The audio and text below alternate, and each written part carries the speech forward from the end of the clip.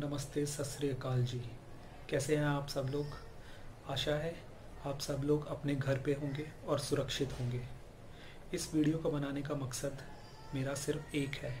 आप सभी लोग तो अपने घर पे सुरक्षित हैं और अच्छे से रह रहे हैं, लेकिन हमारे देश के बहुत सारे ऐसे लोग जो अपने घरों तक जाने का प्रयास कर रहे हैं और जिनको आश्वासन मिला था हमारे सरकार के थ्रू, हमारी गवर्नमेंट के थ्रू, वो अभी तक पूरा होते हुए हमें नहीं दिख रहा।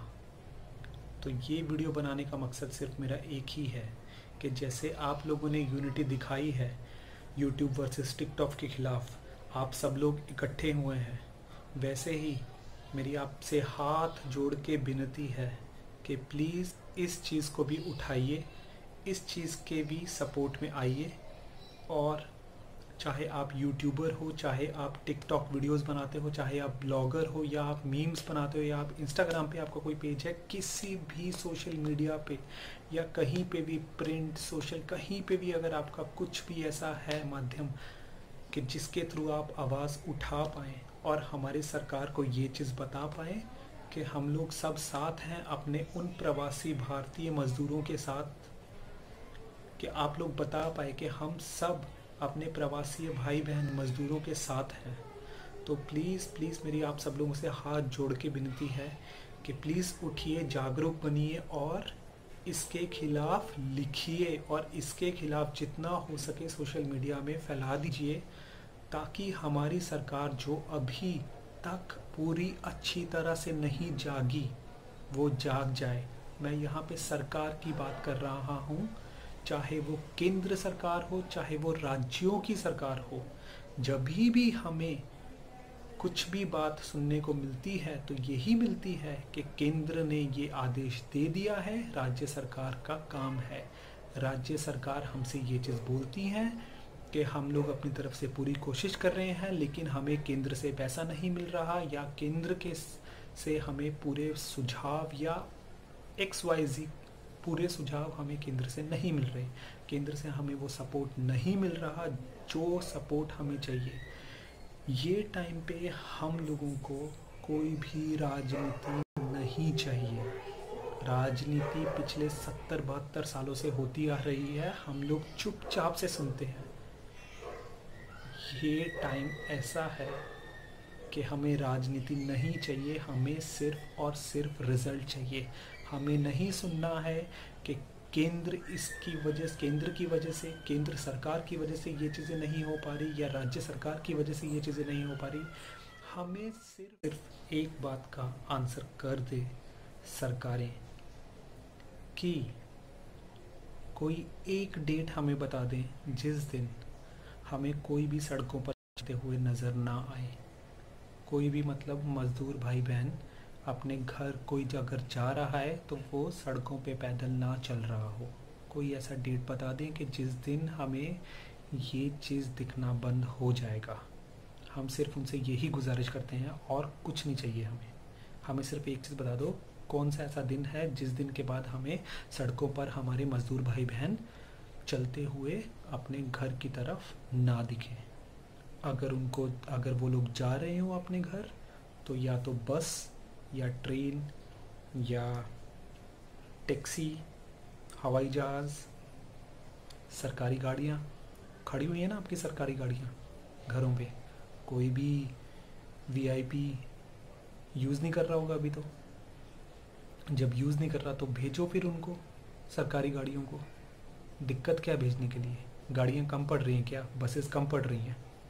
प्रॉब्लम कहाँ पे भेजने के लिए? क्यों नहीं भेज रहे?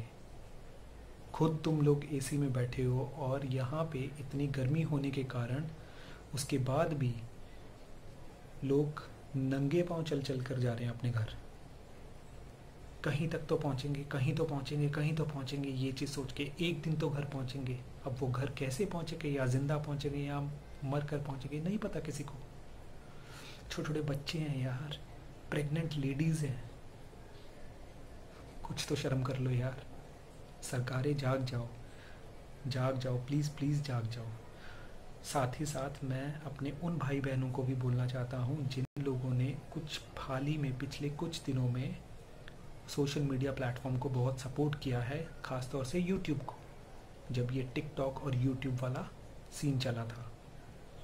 तो अभी भी मैं उन सब भाई बहनों को बोलना चाहता हूँ कि अभी टाइम है सबको दोबारा से एक जगह पे आने का, एक साथ आने का। चाहे कोई भी तुम प्लेटफॉर्म यूज़ करो YouTube TikTok Instagram Snapchat Facebook कोई भी। लेकिन प्लीज़ अपनी आवाज़ उठाओ इस चीज़ के लिए ताकि जो लोग अपने घरों के लिए निकले हैं, वो लोग एटलीस्ट सेफली अपने घर पहुँच जाएँ। और हमें ऐसे वीडियोस ना दिखें जिस पे देख के हमें शर्म आती है कि क्या, किस देश में रह रहे हैं हम लोग। जहाँ पे वोट मांगने के लिए नेता लोग हेलीकॉप्टर तक का यूज़ करते हैं, गाड़ियों तक का यूज़ करते हैं बड़ी बड़ी और जिनसे वो लोग वोट मांगने के लिए आते हैं, जब उनकी बारी आती है तो साधन उपलब्ध नहीं है। हेलीकॉप्टर तो छोड़ो यार बसेस तक उपलब्ध नहीं है। बसेस तक नहीं भेज पा रही हो। प्लीज़ मैं हाथ जोड़ के आप सब लोगों से विनती करता हूँ, सभी सरकारों से प्लीज़ कुछ करो और हमें एक ऐसी तारीख बताओ, जिसके बाद हमें ये सब देखने को ना मिले। प्लीज़ बहुत बहुत बहुत दुख लगता है यार। प्लीज़ कुछ करो। और साथ ही साथ मैं अपने मीडिया और इन्फ्लुएंसर लोग और सेलिब्रिटीज़ लोग, उनसे भी ये दरख्वास्त करूँगा, हाथ जोड़ के विनती करूँगा कि जैसे आप हर चीज़ों पे अपनी राय देते हैं, मुद्दों पे प्लीज़ इस पे भी अपनी राय दीजिए, आइए, खड़े होइए उन लोगों के लिए जिन लोगों की वजह से आपकी रोज़ी रोटी चल रही है। क्योंकि अगर वो नहीं होते तो ना बिल्डिंग्स होती, ना कुछ होता। ना आपके एसी होते, ना आपका घर होता तो आप भी आज फुटपाथ पे ही रहते प्लीज़ आइए उन लोगों के लिए जो लोग आपके लिए आते हैं, अपने घर बार छोड़कर। प्लीज़ प्लीज़, बहुत बहुत धन्यवाद।